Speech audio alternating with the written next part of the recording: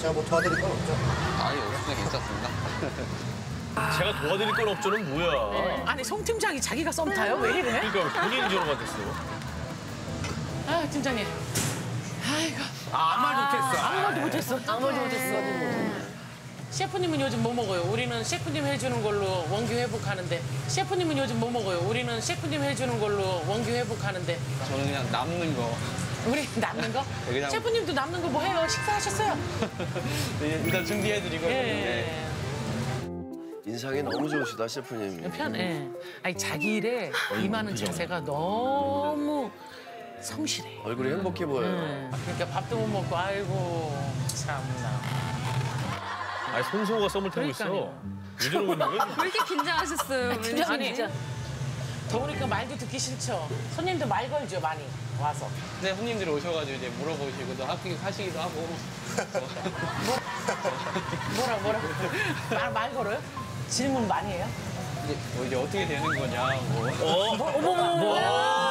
이런 얘기를 송 팀장이 딱 했어요. 자, 자, 들어봅시다. 와 재밌다 재밌다. 뭐, 뭐가 뭐가 뭐가요? 어, 이영자 씨랑 어떻게 되는 거냐 뭐 이런 거 등등 뭐 그렇게 질문하는 사람이 많아요?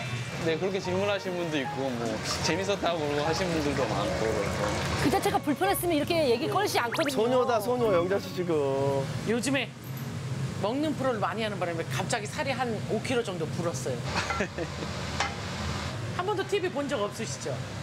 한 번도 TV 본 적 없으시죠? 더 보죠? 네, 저는 TV 볼 시간이 이거 없어가지고 그래 그래. TV 봐 필요 없어. TV는 되게 살찌게 나와, 그지? 되게 살찌게 나와, 그지? 네. 아니야, 그게 나와 아니야. 아니, 아니, 송 팀장님. 아, 새우덮밥 준비 아, 아. 제가 옮겨드릴게요. 어메 어메 어메 어메 이거 찍어야 돼, 이거 찍어야 돼. 와, 이 새우덮밥. 이때 말랐을 때. 이때 말랐을 때. 옛날 사진 보여주는 거야? 사진을 일부러 준비해 가신 거예요? 그 아니야.